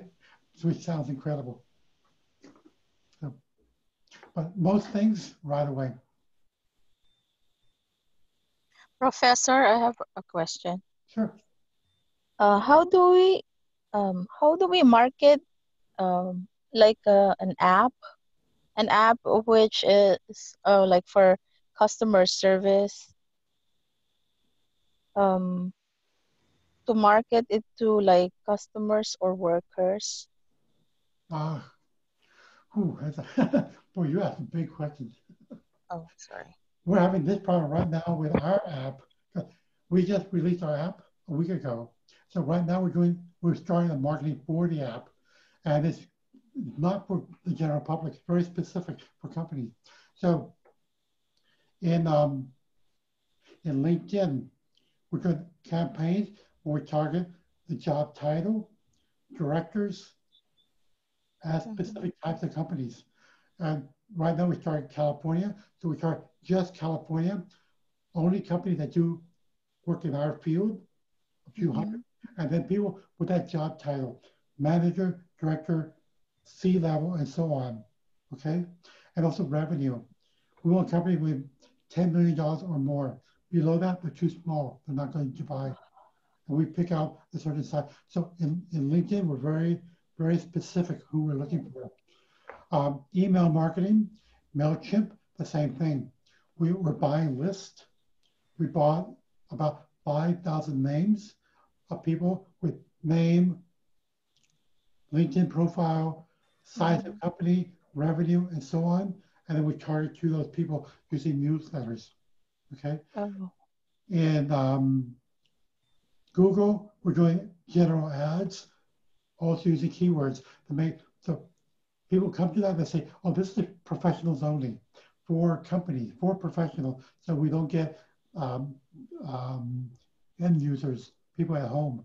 So it, it tells them this is for companies only. So most of our effort is in LinkedIn um, and email marketing. mhm. I'll show you later uh, where you can get uh, where you can buy a list what we're Cool. using. Uh, Thank you, Professor. But uh, do we use like specific keywords for those, or like uh, um, like specific phrases, Like catching keywords, catching phrases, so that so that the specific uh, uh, searchers will just go to them, will, will just arrive to their um, boxes Sure. or We do two campaigns in LinkedIn, not just two. You probably do maybe five campaigns in LinkedIn. One is for keyword. Okay, let's say you're selling a um, a service like a moving uh, a moving uh, uh, a business like you help uh, someone move like a mover a truck a muscle Okay. Okay. like relocation services? Uh, yes, yes, Professor, Okay, yes. very good. So you do one campaign of relocation service, okay? But it's also called reload. So you would do in LinkedIn a campaign using maybe five keywords: reload, relocation, relocation service. And then there you can choose people who use this keyword in LinkedIn, but also people who have interacted with this keyword in the past, in the last six months. So they went to a, um, they read a, a profile, they read a posting at LinkedIn about relocation services. So they will see your ad too. Okay, okay, Professor. Uh, one last question, Professor. What is the success success rate for uh, the uh, relocation uh, keywords for like uh, doing it in digital marketing? What's, what's the what? The, What's the success rate? Uh, like, are we looking for more to be of the success uh, uh, scale or a successful scale or until like a medium, moderate to failure scale? uh, you're asking about success rate? Yes. Oh, very complicated issue. Uh, okay. Um, when I was at Acxiom, mega corporation, we dealt with the largest company in the world.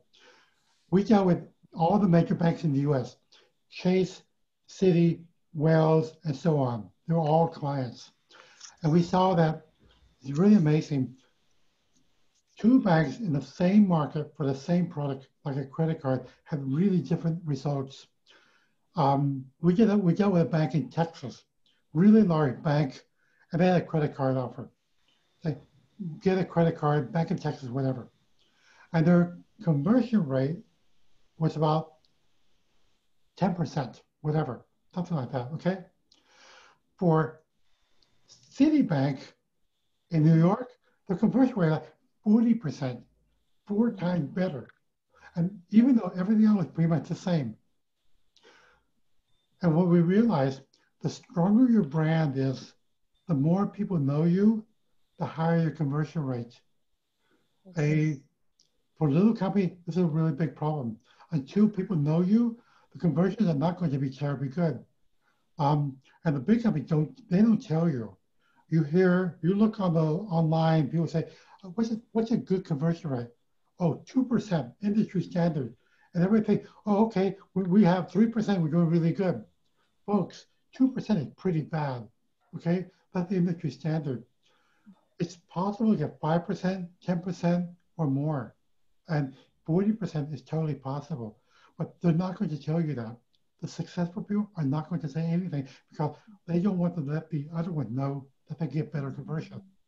So do the best you can and constantly push it up.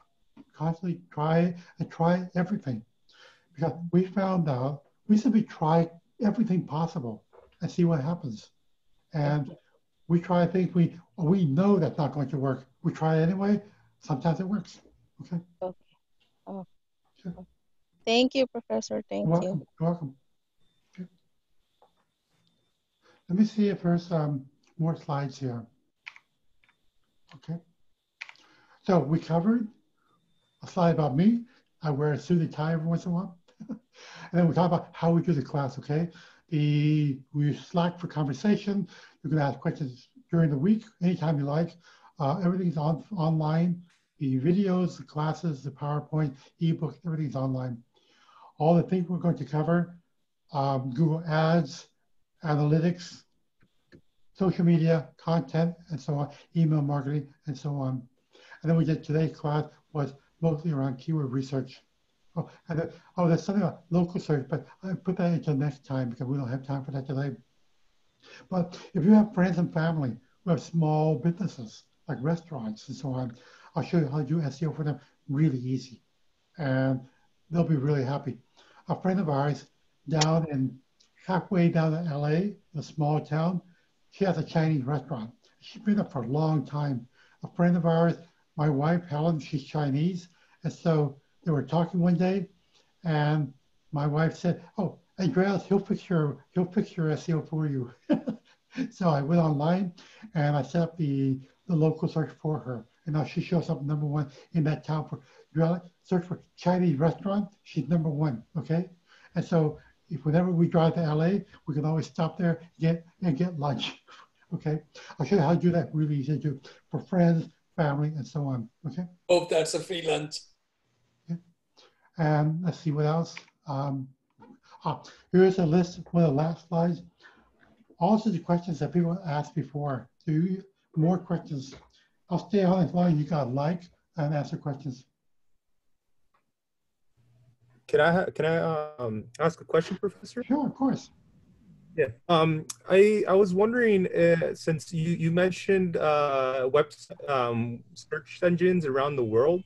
Um, th does that mean that the keyword uh, also gets translated automatically depending on the uh, demographic? No. Again, another complicated question. Okay. Google. When I was at Cisco, remember 44 languages, 84 countries. We found out because I'm, I'm head of global SEO at Cisco, I could talk to Google. I talked to them, I found out there's not one Google. The Google US, Google Germany. Germans like really complex technical words. Long, complicated searches, that's what Germans prefer. Americans like short, easy words. So the Google US, Google Germany, they're different. They, they, they give different results. So there's a different Google in each country. Then the next issue is Google considers English to be the universal keyword. So you can use English in any country. If I go to Japan and I search for pizza, I'll see keywords, I'll see search results that use the word pizza in the page, okay? But if I use Japanese, then I'll also see Japanese version for pizza but I will not see French or German. Okay, so in Japan, Japan shows Japanese and English. English is the, the, the universal keyword, the, the universal language. So when you do a campaign for Japan for your product, you need to use, make sure you use English, but also use Japanese. For German, for German, use German and English. Okay, so use local keywords for each language. But Google will not translate for you. And I'll show you later how to tell Google. Um, you say, go, okay, this page is English for the US.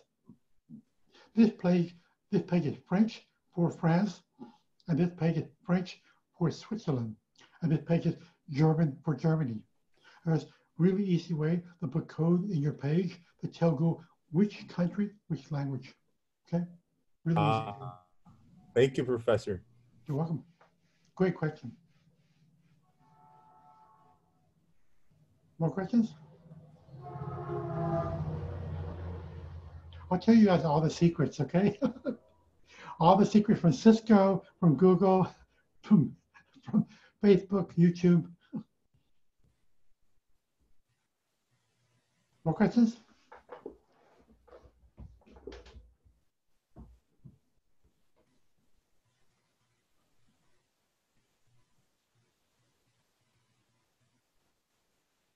Not just keywords, digital marketing, Google in general, uh, Baidu, anything. Um, Silicon Valley. uh, yes. Uh, can I ask another question, Professor? Of course, unlimited. like there's an app called the Google Trends. I don't know if you ever used it before, the Google Trends app. Oh, yes you also utilize that to uh, generate uh, keywords? Yeah, I, we cover that one here. Here, Google Trends. Uh huh. Yep. Okay. Be careful with Google Trends. I use it. I don't use it for keywords to find keywords. I use it to get a, an idea of things, to see what's going on. But be very careful about the data.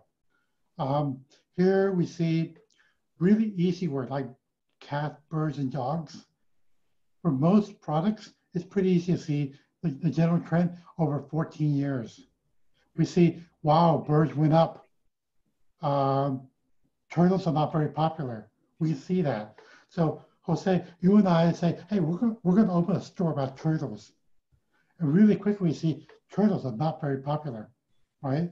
Much better, we open a, we open a store for dogs. much more popular. So it gives us an idea.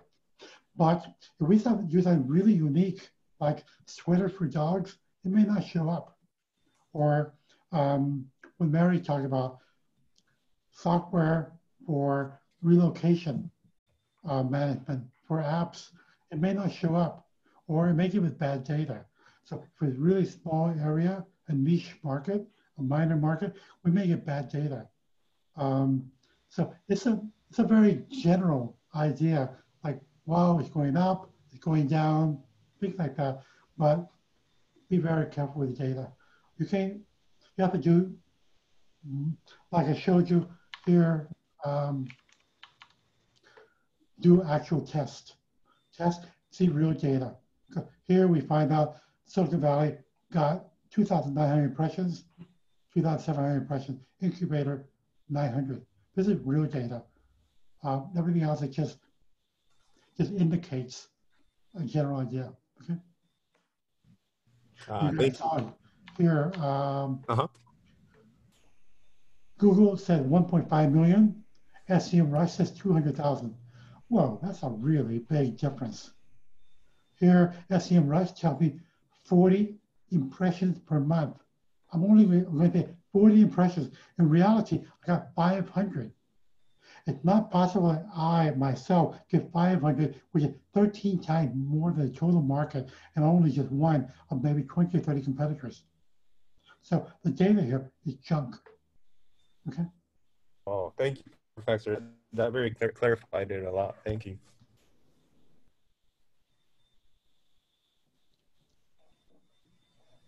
More questions? I was going to actually add a comment earlier when Mary asked a question uh, about uh, how to improve or what is the success rate.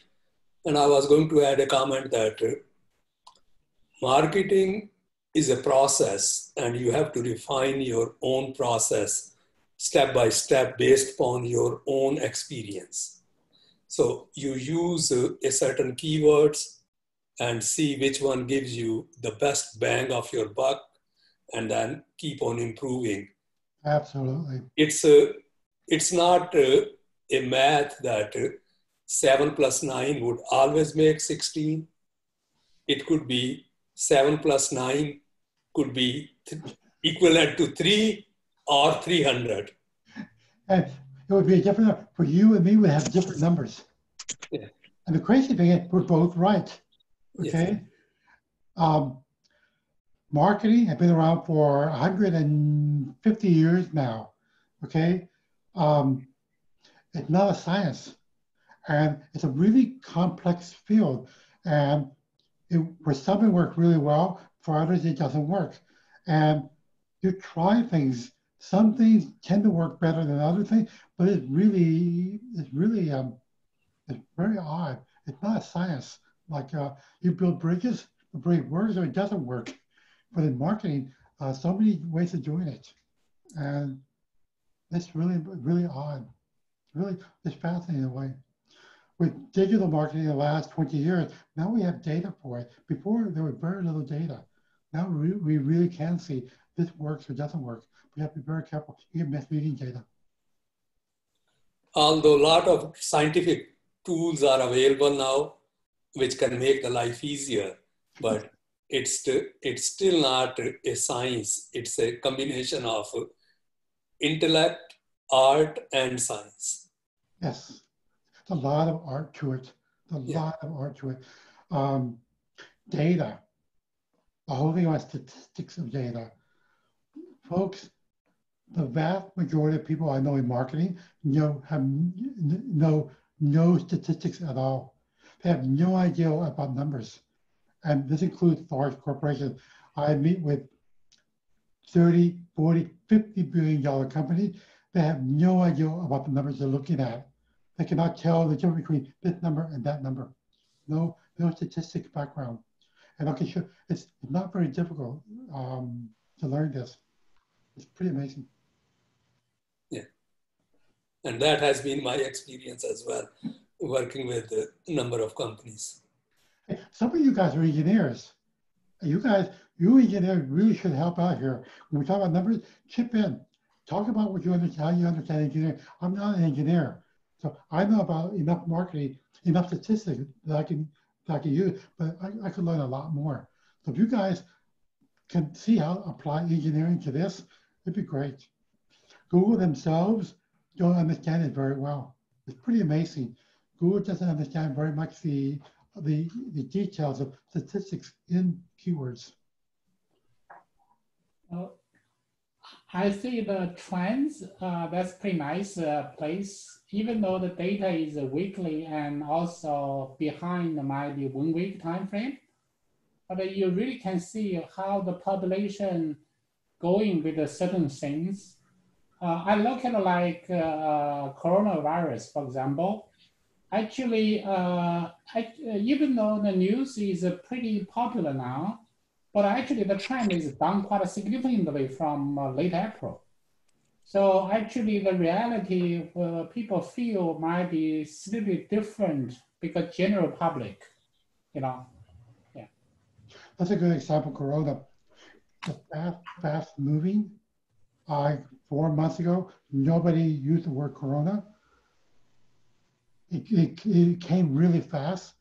And before we said Corona, now we say COVID-19. The word has changed in the last, in the last month. Yeah. And the meaning of the word is evolving. Um, it's changing really rapidly. Uh, Google blocked it for a long time because there were so many spammers and so on. Um, so it's evolving. Yeah, uh, another thing, uh, actually, the word I'm looking for, you know, last year has this uh, AMD, a company making this uh, computer chips, uh, come out a very popular product. But uh, a lot of comments is a quality issue. the performance issue is not as great as people think because it produces a lot of heat. So I take a look at the, the search engine trend. Actually, it is popular. So I think that's a respond much faster with the old statistics because the is updated weekly is the real happening in the society, isn't it? Yeah, I think that's a very good idea for a lot of, uh, I mean, that chart trend really give a lot of uh, things you may not be aware. You can take a look at, yeah. Yeah, but the, the whole area in digital marketing, what to do if there's bad news about your product, what to do the, when the CEO gets arrested. we see that quite a bit, or the, the bad the bad information about the CEO or a bad review comes out. There's a lot of digital marketing how to deal with that. A lot of PR, um, the big issue. And also um, things like um, the Chinese, that's evolving really rapidly. How to deal with keywords in Chinese in the, the US market. Uh, also, the, the complexities of the issues around um, showing in Baidu in the in China and and search engines in the U.S. You guys know the Chinese here know that keywords are blocked in China or Google is blocked in China. How to deal with that? Hmm. I just uh, compared uh, between Trump and uh, Biden. I think the Trump's popularity is significantly higher than the Biden. Oh my God. Yeah. Okay. Pretty nice. So. Let's stay away from politics, but. No, I mean, just the name, just the name. But. Uh, yeah, nothing about the, I don't know what's really, but uh, just the, like, uh, I think the search engine is trying to track people, whatever, positive, negative, whatever they come out, isn't it? It just attract certain exactly. kind of word, yeah. I look at Trump and Biden, push aside the personal politics aside. I look at Trump and Biden, I look at their digital marketing. And whether you like Trump or not like him or whatever you think of him, his digital marketing is absolutely phenomenal. It's, yeah. super good. It's astonishing how good his team is. They are not just 10 times better than Biden. Um, the Trump team, they're spending close to a billion dollars they have maybe 200 people working on their team just for digital marketing. The Biden people, 25 people. That's it. For Trump, we know who he is. The, the, the head of it, Brad Parscale. We all know that. We know a lot about him personally. Who's doing digital marketing for Biden? Nobody knows. So nobody. Well, yesterday I was really surprised to find out after Facebook's announcement that if Facebook would have taken the step they took yesterday, if they would have taken that same step four years back, Trump would have lost the election. That's a pretty big claim. that's You know, oh uh, yeah. and uh,